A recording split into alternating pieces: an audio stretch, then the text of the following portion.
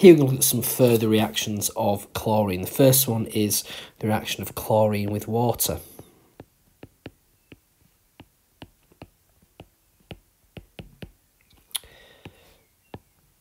When chlorine reacts with water, we get an equilibrium mixture set up. Where we get HCl and HClO. Now, we've got here hydrochloric acid. We've got something here called chloric 1 acid.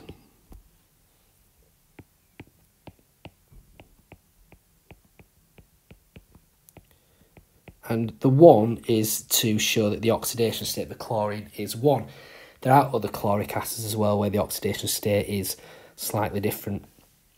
Now, because you've got solutions of the hydrochloric acid and the chloric 1 acid, this is often sometimes written as uh, ions. So we've got, in effect, two hydrogen ions from the two hydrogens there. So we've got two hydrogen ions in solution. We've got the chloride ion in solution. And we've also got this we call this now chlorate 1 ion. This is called chlorate 1. So either equation where you can either write an equation showing these products or these products. So just be aware you could be um, shown a mask in where either of those are given. Now, this reaction is, is a special sort of redox reaction because what we've got is the chlorine here oxidation state is zero. But one of these chlorines, the oxidation state has gone down, so the chlorine's been reduced to HCl. But in the other products, the oxidation of chlorine has gone up by one. So the chlorine has been simultaneously oxidized and reduced. And this is called a, a disproportionation reaction. So a disproportionation reaction when uh, a species is simultaneously oxidized and reduced.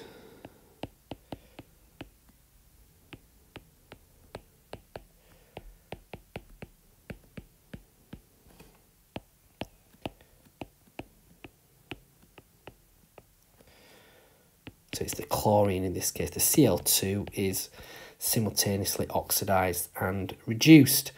Now, the uses of chlorine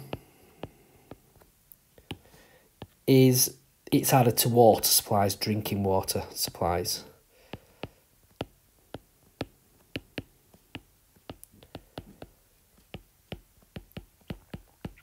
And it's also added to swimming pools.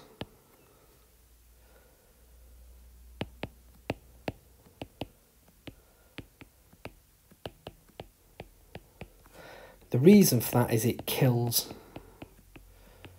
bacteria. Now, I've got to be very careful when adding chlorine because chlorine is also toxic to humans. So we've got to add just enough to it kills all the bacteria, but not so much so it causes any damage to, to us. So there are risks associated risks with using chlorine in adding it to swimming pools or water supply. However, the health benefits outweigh the risks. So even though it is toxic to humans, the health benefits we get by adding it to the water, killing the bacteria, outweigh any risks associated. There is another reaction of chlorine and water that we do need to be aware of, and this occurs in the presence of sunlight. And it's just one that you need to remember. And you can see, hopefully, from this, it's not a disproportionation this time.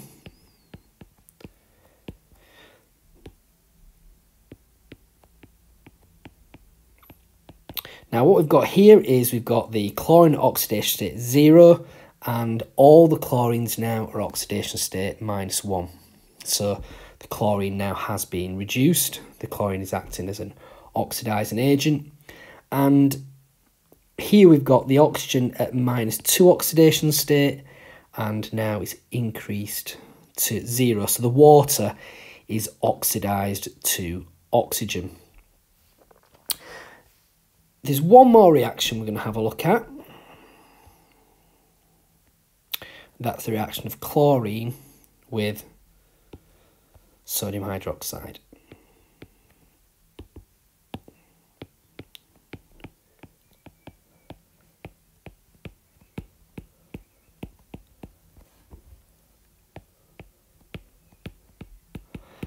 And this is a very similar reaction to the reaction of chlorine with water, as we'll see.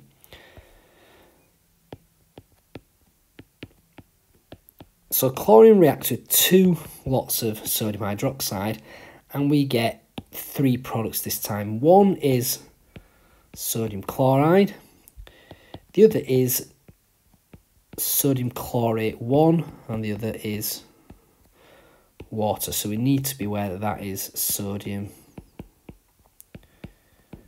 chlorate 1 and that is um, a bleach. This is used in bleach usually under the name sodium hypochlorite, but which is the same thing as sodium chlorate 1. Now, we often see that equation written as an ionic equation. The sodium ions are spectator ions. I've got two sodium ions in solution in my reactants, and I've got two sodium ions in solution as my products. So we can remove those from the equation, and that will give us the ionic equation as follows. So I've got um, Cl2 now plus two hydroxide ions and now we get similar pro similar products what we got with chlorine and water. We've got our chloride ion our chlorate one but the difference now is we've now got this additional product of water um, this again is a disproportionation reaction, same as the reaction of chlorine and water. We've got chlorine at oxidation state 0. It's being reduced to minus 1 in chloride ions, but the chlorine has been oxidised to plus 1 in chlorate 1 ions. And they are the further reactions of chlorine.